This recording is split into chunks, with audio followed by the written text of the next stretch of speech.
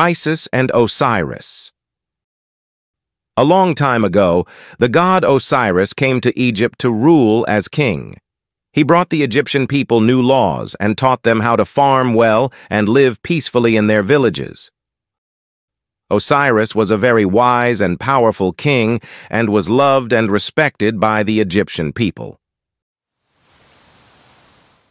Unfortunately, his brother Seth was very jealous of his brother's power in Egypt.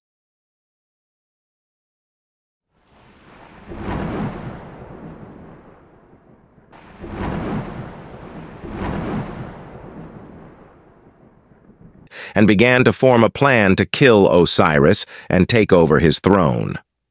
Late one night, Seth tiptoed into Osiris's bedroom careful to not wake up Osiris or his queen, the goddess Isis. Seth measured Osiris's body from top to bottom and from side to side. The next morning, Seth took the measurements to a carpenter who made a beautiful wooden chest decorated with bright paint and sheets of gold. That night, Seth threw a huge party and invited Osiris as the guest of honor. The night was spent feasting, singing, dancing, and playing games. For the final game, Seth brought out the huge wooden chest. He announced that the first person to fit perfectly into the chest would be allowed to keep it.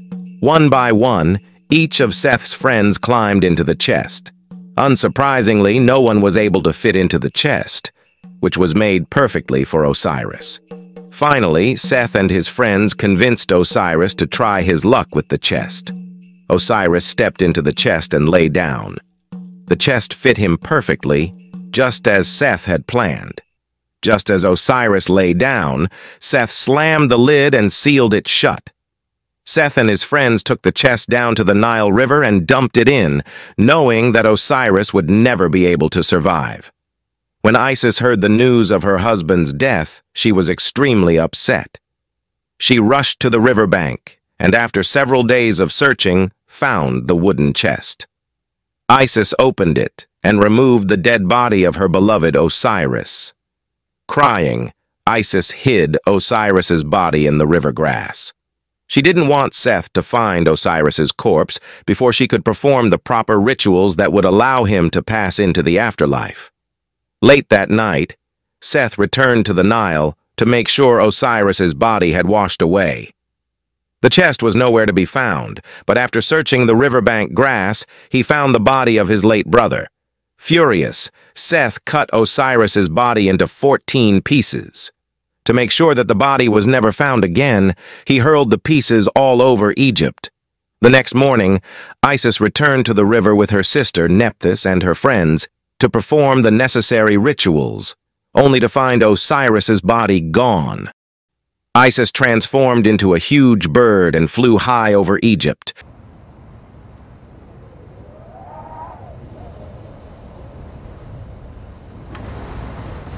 Using her sharp vision, she was able to find all the pieces of the body to put Osiris back together.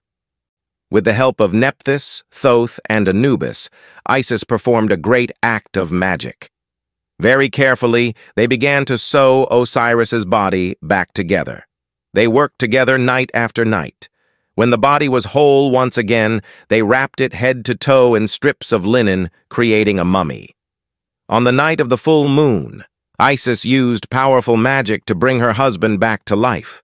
Osiris embraced Isis and thanked her sister and her friends. He told them he would not be able to stay in the world of the living. He explained that having died, he needed to travel to the world of the dead where he would become the king of the afterlife. Before he left, Osiris told Isis not to worry. He told her that she would soon give birth to a son, Horus, who would defeat Seth and become a great protector of the Egyptian people. By taking back the throne from Seth, Horus would restore order and peace to the universe. When Horus was born, he was hidden away and kept safe from his evil uncle Seth. When he became of age, Horus finally confronted Seth, and they violently fought. During the fight, Horus's left eye was poked out, but magically came to life. Later on, the Wadjet, or Eye of Horus, became a powerful symbol to promote healing. Although Horus emerged victorious, there was still a large question of who legally had power to the throne. Seth believed that as Osiris's brother, he was the rightful ruler, but Horus argued that he should be proclaimed king, since he was Osiris's legitimate heir. Ultimately, it was decided that Horus would rule on earth as king. Seth was banished forever,